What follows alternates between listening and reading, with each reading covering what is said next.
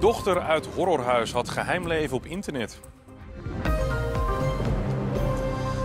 Ze ontsnapte via een raam en sloeg vervolgens alarm over het horrorhuis in Californië waar ze woonde.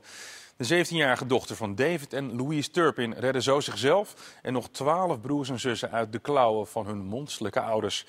Het tienermeisje blijkt nu behoorlijk actief te zijn geweest op social media. I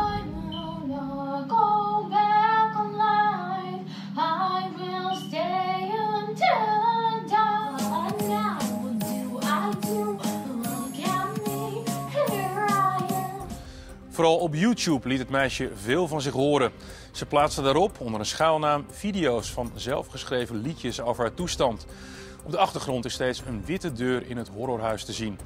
De liedjes vertellen samen een hartverscheurend verhaal. Met titels als Waar is de sleutel? En Je geeft mij de schuld en Geef me nog een kans. De beelden geven ook een bijzonder kijkje in het leven in het horrorhuis. Op deze beelden speelt ze met haar hond. Er is een smerig tapijt en een berg ongewassen kleding te zien. Ze maakte de video's waarschijnlijk op de momenten dat de ouders niet thuis waren en ze gebruikten daarvoor hun computers. De beide ouders, Louise en David Turpin, hangt een levenslange gevangenisstraf boven het hoofd.